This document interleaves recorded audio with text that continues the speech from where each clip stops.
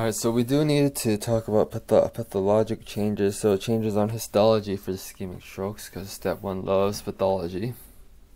And this is very similar to the cardiac um, patholo- pathological changes after uh, uh, heart attack. And we're going to compare and contrast in a second.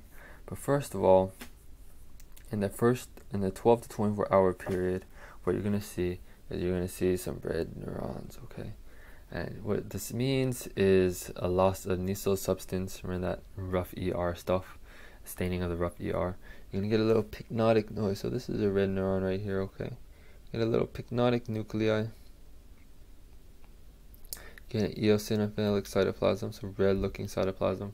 That is a red neuron. Okay, so small little nucleus, and then your reddish cytoplasm. After that, your neutrophils are going to come. That's day ones to three. So um, neutrophils, all these little blue dots are going to pop in.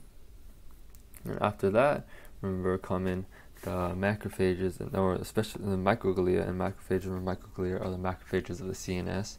You do get some macrophages coming in. So this is days three to seven, okay? And then next after that, it's going to be what the next uh, one to two weeks after the stroke. This is a key word here. This is reactive gliosis. Okay, it is done by the astrocytes, um, and you're also going to get vascular proliferation around the necrotic area.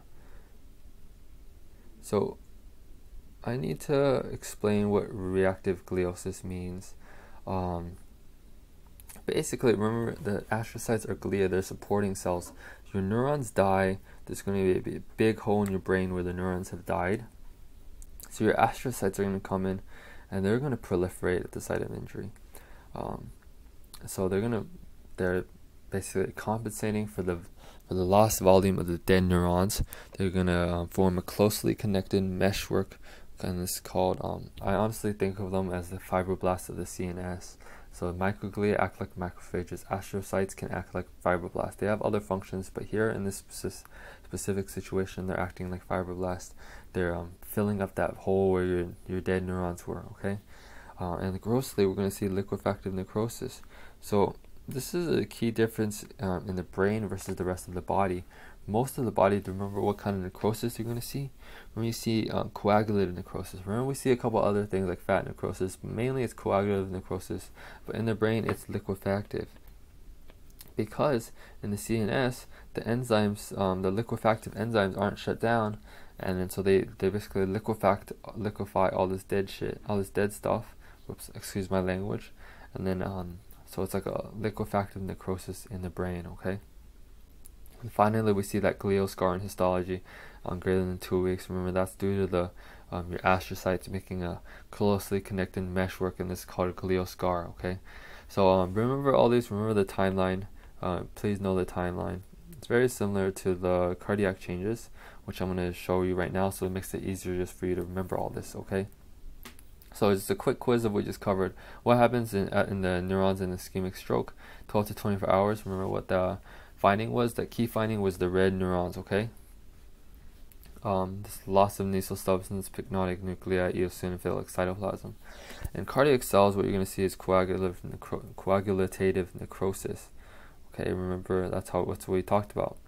Um, liquefactive in brain cells, coagulative in the rest of the body.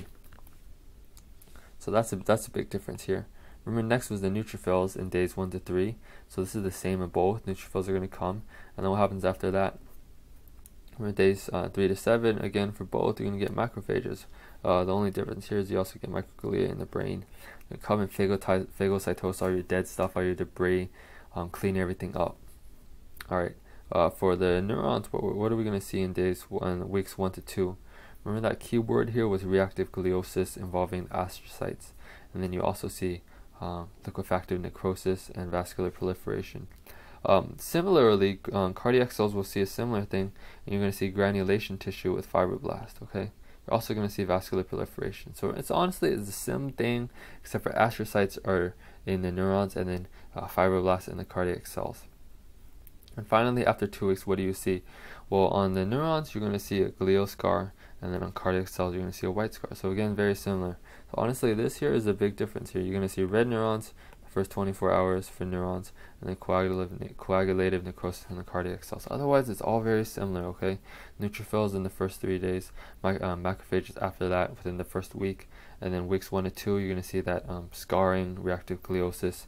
Remember, this is a key word here. You're going to see that again and again. Remember, it's the astrocytes coming in to replace the lost volume from your dead neurons, okay? Alright, so that's it for our pathology of ischemic strokes.